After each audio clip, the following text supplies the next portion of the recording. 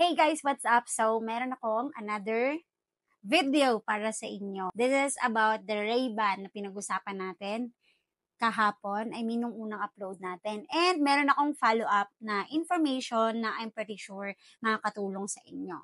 So, ang topic natin today is ano ibig sabihin ng mga numbers na nandito sa ating Ray-Ban. So, sasabihin ko sa inyo isa-isa kung para saan yan. Pero bago yan, kailangan nyo muna mag-subscribe sa aking YouTube channel and click the notification bell para ma-update kayo sa aking susunod na video kagaya nito. Kaya naman, let's go, let's start. Para ma-visualize nyo yung aking sinasabi is ilalagay ko na lang sa screen kung saan dyan sa mga part na yan yung pinagsasabi ko. Kasi hindi siya makita sa video, maliit kasi. So ano nga ba ibig sabihin ng mga uh, numbers or letters na nandito sa ating Ray-Ban? Para malaman mo kasi minsan ang daming variation ni Ray-Ban.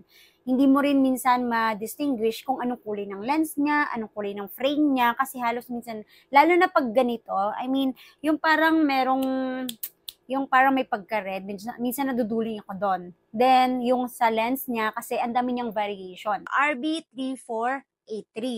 Ito yung kanyang um, Ray-Ban model or model code, which is, ito yung normally na sinesearch natin sa Google. Yung next naman is yung kanyang frame color. Ito yung 004 slash 71. Ito yung frame niya. Ito mismo. Ito, ito. Ayan. Yan yung kanyang frame. Ito, yan yung kanyang frame. Kasi madaming variation yan, so kaya siya nakalagay yan siya. So, ngayon, ito namang 60 na may pinaka-box and 16, itong kanyang uh, frame size. So, itong 16 is yung lens width niya. And yung 16 is yung bridge width. Ayan. Then next naman natin, actually yung 16 and 60 na may box and 16, kapag nag-search naman na kayo sa Google, eh nakita nyo yung Ray-Ban doon sa website nila, naka-indicate naman yan. So lahat ng nandito, makikita nyo yan doon sa model uh, product details ng Ray-Ban na hinahanap nyo. So kung meron kang Ray-Ban na maganda para sa'yo, ay, huwag natin suotin, di ba? Charot meron kang Ray-Ban, tapos meron siyang ano na okay naman sa'yo, fit naman sa'yo, yun na yung size na pwede mong bilhin. 'Di ba? Para naman mas makasure ka na yung size na bibilin mo is tama, punta ka na lang sa store. And ito pa yung pinaka second to the last, hindi ko talaga maintindihan to. Ano tong 3 digits na, 3 let, 3 numbers na hindi ko talaga malaman. Ano kaya to? Kaya naman napa-search ako kasi yung mga sinabi ko sa inyo, yun lang yung alam ko nalaman ko na yung 143, yung second to the last na numbers, normally kasi wala yan. Pero sa ibang Ray-Ban is meron talaga siya.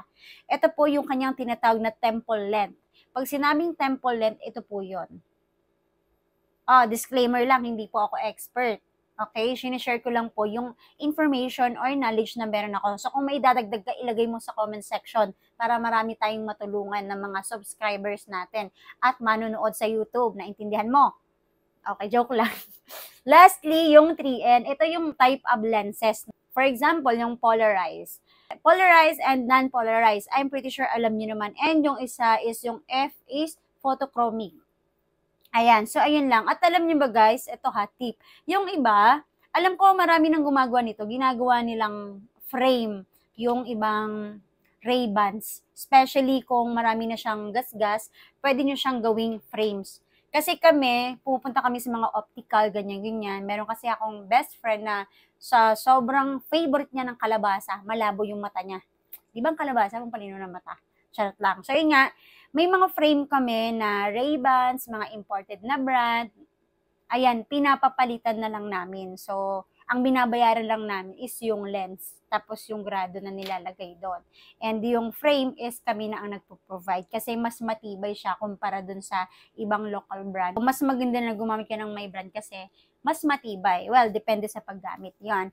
And eto ha, kung meron kayong Ray-Ban sa inyo na may gas-gas na to, kung ako sa ibenta mo, magkakapera ka pa kaysa doon tinatago mo sa baol, gawin mong pera. So, ayun lang guys. Maraming salamat and please subscribe my YouTube channel. Bye-bye!